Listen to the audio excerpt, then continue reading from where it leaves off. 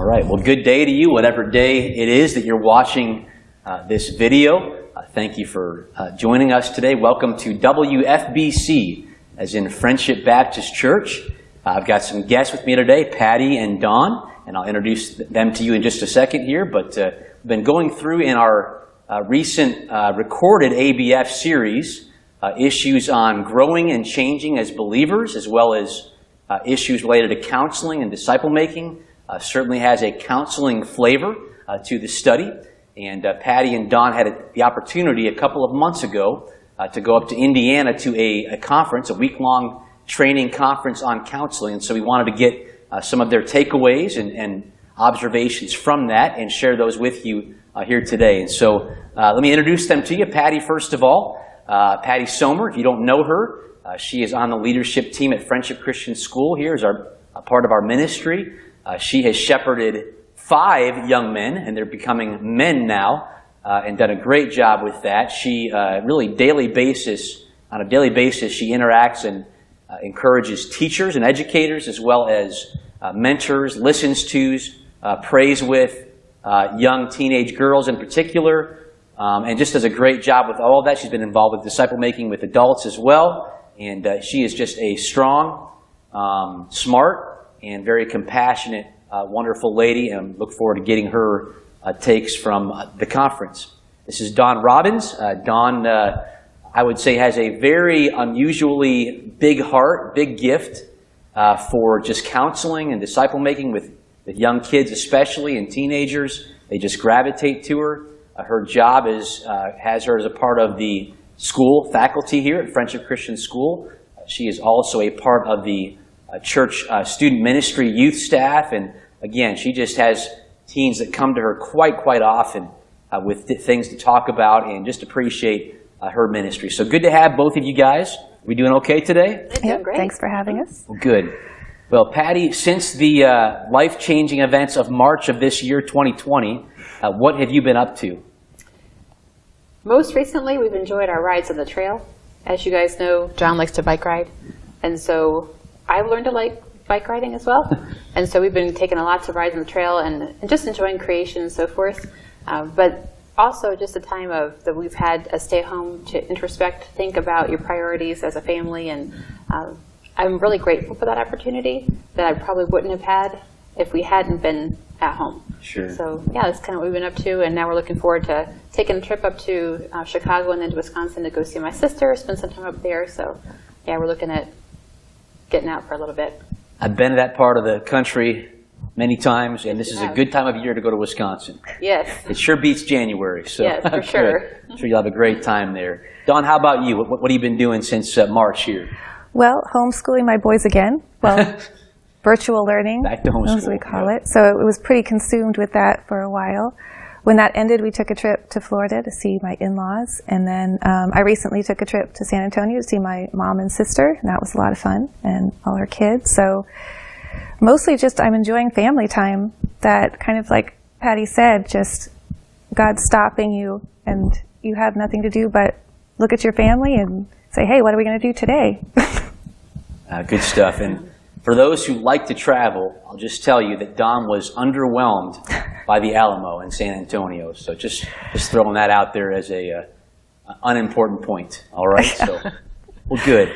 We'll get into it here then. Thanks for your time once again. And uh, what I mean by that, a little more than would have expected here. Uh, inside joke, I guess you might say. But um, again, uh, Dawn and Patty had the chance in February to go up to Indiana to a week-long uh, intensive counseling training uh, conference up there. Just wanted to hear a little bit about that from them. And so we'll start with you, Dawn. How, how did this kind of come together for you guys to go? Um, I work in the cafeteria here, so I see just about every student come through during the day, and I have the opportunity to watch them and listen. And there are a few that uh, tell me things, and I feel like the weight of issues that they have now are just heavy, and they have to deal with more at a younger age. And I felt inadequate, like I wasn't equipped to help them where they are right now. And I was praying about it and asking God, you know, where, how can I help more? I don't feel like I'm educated enough to help them where they are. So I thought, well, and then God brought to my mind Patty. She's amazing. And I thought, why don't I go ask her? She does this every day. So I went into her office and just laid my heart out to her. And she asked me if there was anything that you could do, what would it be? If you could go back to school or be trained in anything, what would it be? And I thought the school needs counselors. I feel like the church needs counselors. So what do you think, Patty? so when she brought it up, um, we just had a little bit of a conversation about it, and the Lord brought to mind that a friend of mine many years ago, about 15 years ago, had gone to a conference up in Indiana, and when she came back, she was just overflowing with joy talking about it. And I remember at that point saying, I'm going to go to that conference. Mm-hmm. Um, but as my kids were really little, the timing didn't work out. You're gone for an entire week, and I didn't feel like when I had toddlers around that, that would be a great time to be gone. And so the timing just didn't work out and didn't work out. And then as Dawn was sitting there in my office, the little light bulb went off. Mm-hmm. And the Lord brought it back to mind again, fresh and anew, that, he got to check into that conference. So the remarkable part of this, where God works, again, is that this was in January that we're having this conversation. And I remembered that the conference only met one time during the year for one week. And I thought it was in February, but I wasn't sure. And as she was talking, I was thinking, there is no way if it's in February that we're going to be able to go to this conference, but let's check it out. Mm. And so we did. And then this year, perhaps in previous years as well, they opened up a simulcast room. So we were able to actually get into the conference, and all of our arrangements lined up for the hotel and everything just worked like clockwork. God's hand was, was completely in it. And um, so it was not very many weeks after this conversation began that we were zooming up to Indiana to have a life-changing week, really. Did y'all get along okay that week, or was it, were there issues? I'm pretty sure you want to recognize this that week. pretty sure. Oh, very, very good. So almost like maybe, would you agree that God is in control? Maybe He wanted you to go to this conference potentially? No doubt. Oh, very I'd cool. say no doubt. It's solidified in my mind that she is indeed amazing. if there was God any doubt, we decided, right? Yes. Oh, good stuff. Well, good. Well, for this segment here, we'd, we'd like to hear some of your takeaways from uh, from the conference. And so we'll just kind of go back and forth a little bit. But Patty, what would you say were some of your, or one of your biggest takeaways from your time up there in Indiana? For sure, uh, the, the one word that kept coming back and forth to both of us was the word hope. Hmm. When a, a student or a, a young lady or a, a grown lady or anyone comes to you and wants advice, a lot of times they have come to the end of their rope and they don't know what to do now and they need some guidance and direction. And a lot of times they've lost hope for the situation, whether it be a broken marriage, whether it be decisions they've made that fell into a ditch, so to speak, whatever it might be, they feel like they, they don't know where to turn and they need some hope. And that example was given to us over and over again that we can be the ones to share that hope. We can mm. open God's word with them. And through a matter of listening, counseling, and, and working through these situations, offer them hope that they so desperately need. So I would say for sure, the number one thing we that I took away from it uh, was hope and within that hope, making connection to them as as an individual, mm. finding the common ground with them so that they can see that you know you've made it through circumstances like this, or you're aware of those who have, and again, it's that hope being offered there. Yeah, oh, good stuff. You want to want to go with that thought a little bit, Dawn, as far as takeaways for you? I agree. Number one is hope. Hope in any situation, no matter who you are, where you come from, your past, where your future is going there is hope, but that hope is in Christ. Mm-hmm. And all, the whole conference was pointed on the hope you have in Christ. Mm. And for me personally, I went looking for help in how to help others. And instead, God showed me the huge beam in my own eye that I needed to have that hope myself for things that have happened in the past for me or what I'm holding on to right now it was very convicting sitting there. I, I, felt like slinking under the table or in my seat most of the time, mm-hmm. just from the truths that were you were faced with daily about do you really hope in Christ on a daily basis? And it was life changing new perspective for me. Mm-hmm. I came back with a completely new perspective on God's word and how it can help you no matter what you're going through. That there's hope on the other side of this situation that you find yourself in. Well, let me ask you this. You, you both mentioned that was a big takeaway. As, as somebody who is discipling or even parenting or shepherding, counseling, why would you say, what is the source of that? Why did that stick out, the idea of hope, as far as helping somebody through their issues and things?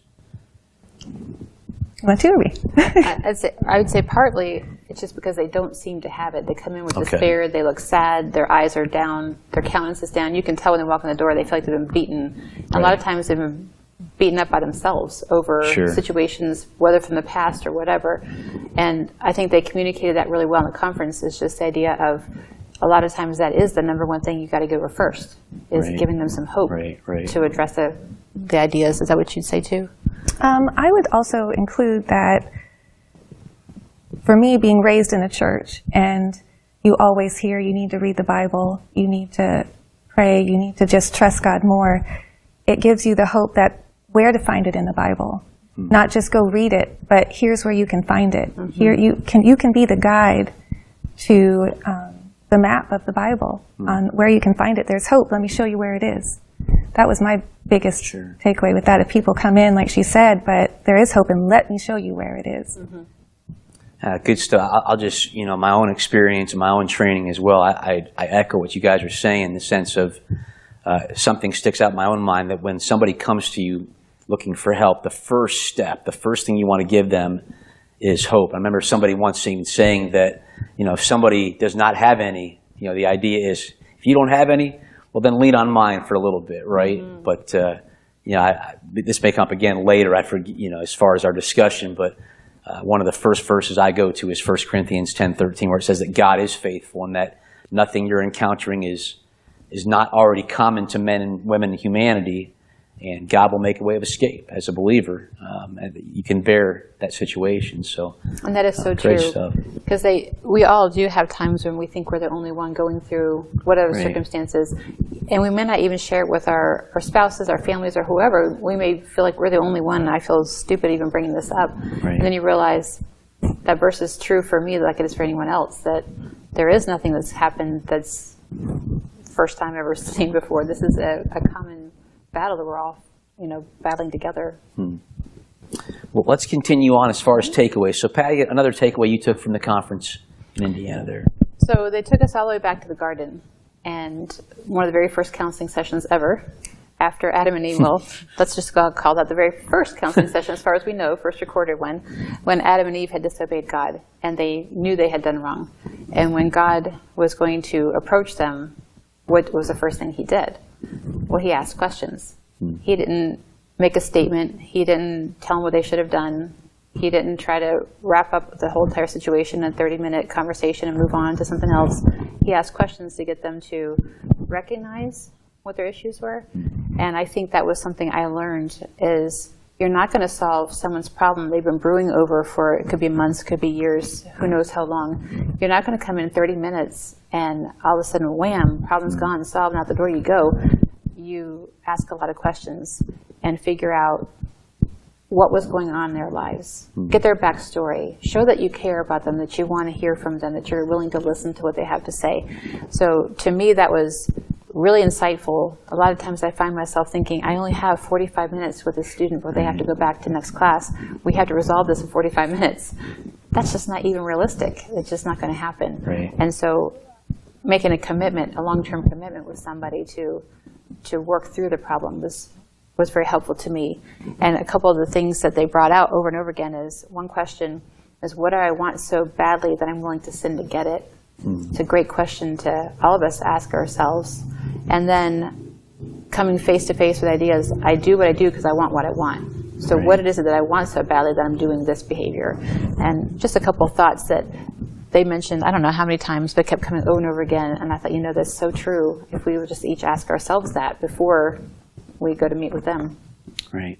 Yeah, it's a great point. You, you, you mentioned there that, you know, God is one of the better counselors out there, probably, wouldn't you say? You I would agree. The best. yes. he's probably the best. Yes. Probably. He's the He best is the one. best, Yeah, yes. that's the problem. Um, and yeah, interesting point that even with Adam and Eve, he began with questions, you know, Mm-hmm. and certainly something for us to, yeah, that's a great point. We're not going to solve somebody's problems that they've had for years in 30 minutes. Nope. We have to take the time to, to hear the story and absorb and so forth. Uh, Right. Great, great, great point. Good takeaway. Dawn, over to you. But along those lines and um, listening, that what you said, they come in, but are you listening or are you thinking about what you want to tell them? Hmm. You know, does my opinion really matter? Do I stop in that moment and listen to their story without my mind turning on what I'm going to respond with? Right. and asking the questions and getting them to reveal more and more, earning that trust with discipleship is that we're doing life together hmm. And let me help you.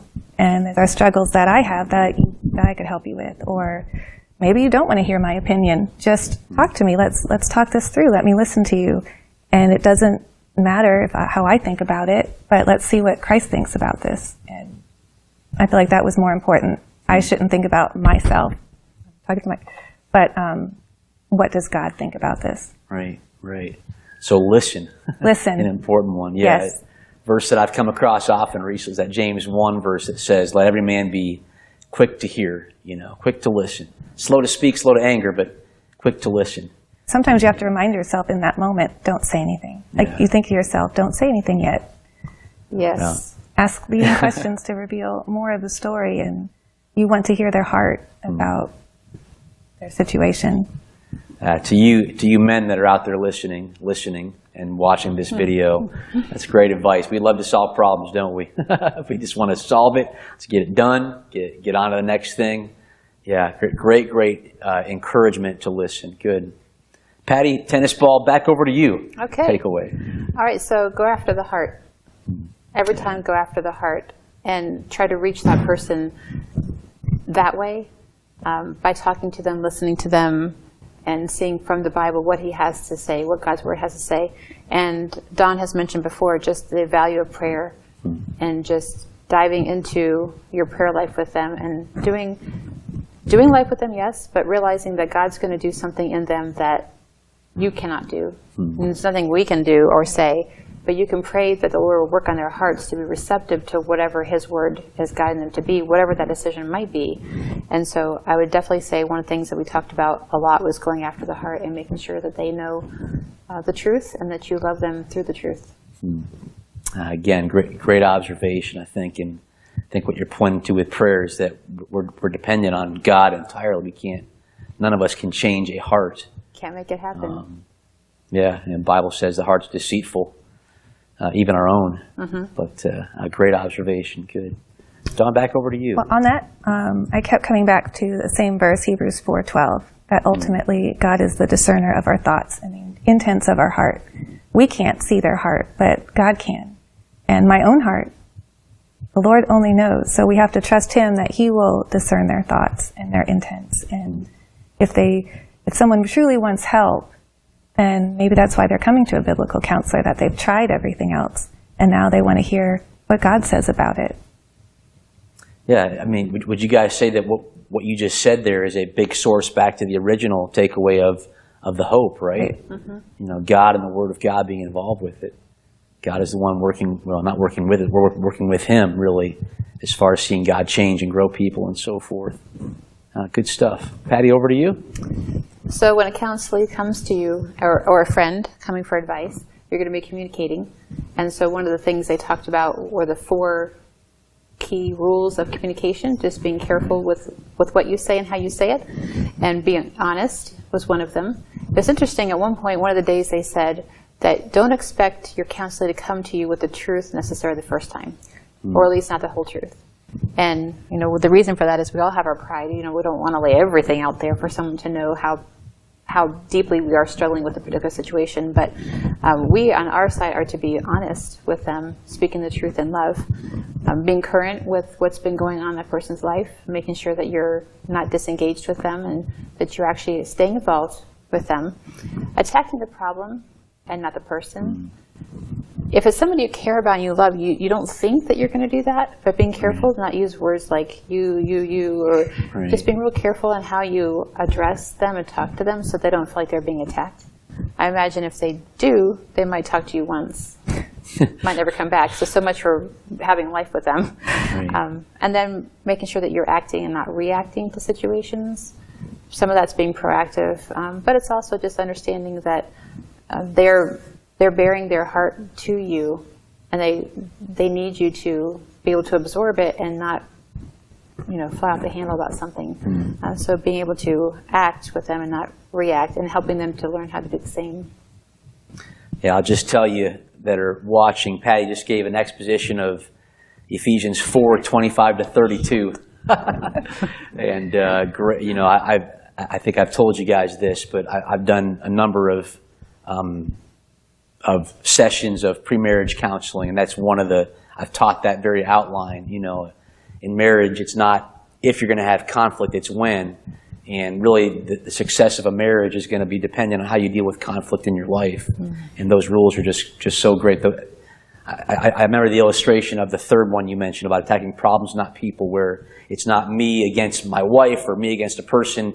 They're the problem or I'm the problem. It's us sitting side by side facing the problem, you know, not using words like always or never, which Right. attack people. Sure. You always, that's atta- an attack on character. Whereas, no, the problem was this situation right here.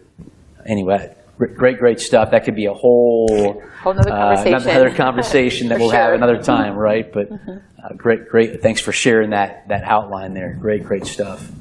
Dawn, over to you. Another takeaway from you.